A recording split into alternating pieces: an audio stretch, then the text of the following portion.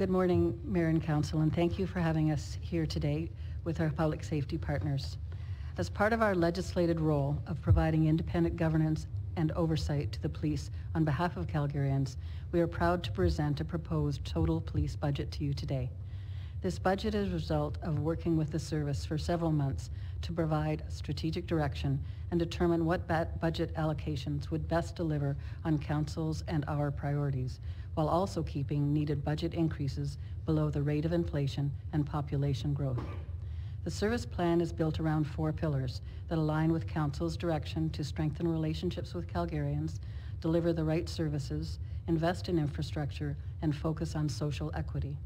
We also added a focus to even better look after our employees. The service will also continue to work closely with partners to support other council priorities, like downtown revitalization, transit, supporting transit police, etc., call diversion with the help of 211, mental health, like the ALEX partnership, and hosting, by ensuring that the right resources and approaches are in place to address the crime and disorder that negatively impact these goals. We are asking for a tax-funded portion of the police operating budget to increase by approximately $34 million over four years, bringing the total net budget to 467.6 million in 2026.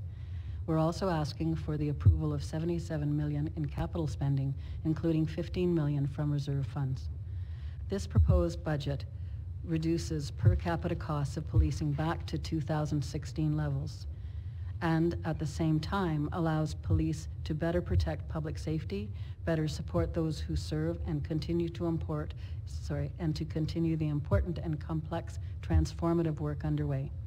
It does this through efficiencies, example by way of technology, innovating in ways to prevent crime and address safety, manage assets, and collaborate further with partners. We will, at the same time, continue to progress anti-racism and social equality and support employees. With that, I'll turn it over to Chief Neufeld to provide further details.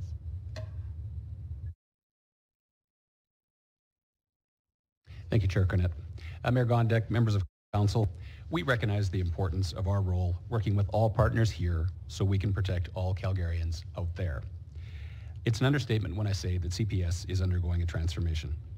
Calgarians have made it clear that they want a modernized, effective police service that delivers innovative and collaborative approaches to keep Calgary safe, including our most vulnerable citizens. While meaningful, thoughtful transformation takes time, we are well down the path and we remain fully committed to the process. We are continually seeking opportunities to evolve and adjust how we engage and communicate with Calgarians while also updating our internal systems to enhance equity, diversity, inclusion, and anti-racism, and strengthen the ways in which we support our members. With all of this in mind, we continue to foster and grow partnerships with city services and other key community organizations to ensure we're taking a collaborative and community-driven approach to the delivery of integrated services that keep Calgarians safe. The budget reflects a lot of hard work and planning as well as the high priority Calgarians have placed on public safety and transformation that will be delivered through the four pillars displayed on the next slide. I'll start with trust building. The last several years have been hard. They've shaken the vital foundation of trust between police and communities right across North America. And despite a long history of positive police-community relations in our city, we're not immune to what's been a global shift. Locally, we've seen our own trust scores drop from 90% to 77. And as I get out into communities, I don't hear people telling me they want less police. With the myriad challenges communities are facing, I hear loud and clear the community wants good policing, they want equitable policing, and they want to be respected by those who serve. And that is what we will provide. Part of building trust is ensuring CPS has the resources and supports required to be there when Calgarians call. High attrition rates coupled with recruiting and training challenges during the pandemic have left CPS with a tired and depleted workforce increased number of employees are receiving supports for workplace injuries and wellness concerns.